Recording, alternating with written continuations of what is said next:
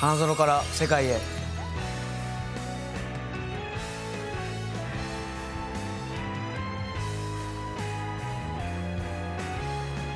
ジャパンが誇る若きリーダー流豊選手の花園。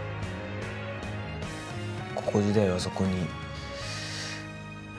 うん、出るためでそこで勝つために勝つ、あの頑張っていたので今となってはいい思い出の場所ですキャプテンとして挑んだ全国大会。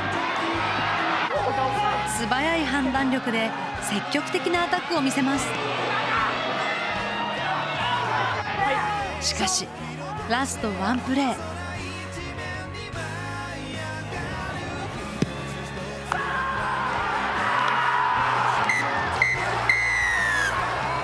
キャプテンとして、うん、導けれなかったのは残念だったと思います。厳しいトレーニングをして精神的にはすごく鍛えられました。